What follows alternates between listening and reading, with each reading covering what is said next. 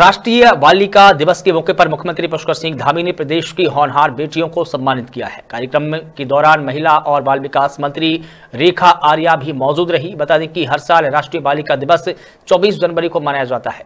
इसी क्रम में मुख्यमंत्री पुष्कर सिंह धामी ने प्रदेश की 320 मेधावी बालिकाओं को स्मार्टफ़ोन देकर सम्मानित किया है। राष्ट्रीय बालिका दिवस के दिन को लड़कियों के साथ ही समाज को भी शिक्षित और जागरूक करने का प्रयास किया जाता है।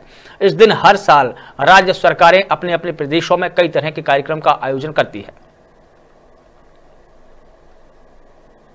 राष्ट्रीय बालिका दिवस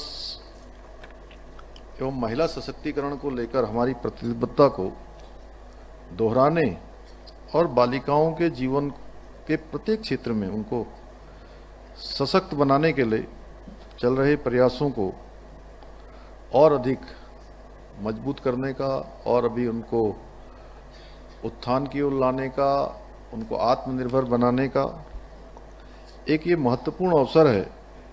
हमारी सरकार ने सभी बालिकाओं के जीवन में कल्याणकारी परिवर्तन लाने और उनके भविष्य को उत्कृष्ट बनाने के लिए हमने संकल्प लिया है। हम कृत संकल्पित हैं। हमारी प्राथमिकता है कि हमारी सभी बेटियाँ आगे आनी चाहिए, हमारी बहनें आगे आनी चाहिए, मातृशक्ति का उत्थान होना चाहिए। उसके लिए अनेक अनेक योजनाएँ हमने प्रदेश के अंदर चलाई हैं। हमारे शास्त्रों में लिखा गया है, यत्र नार्यस्तु पूजयंते रमंत्र तत्र देवता।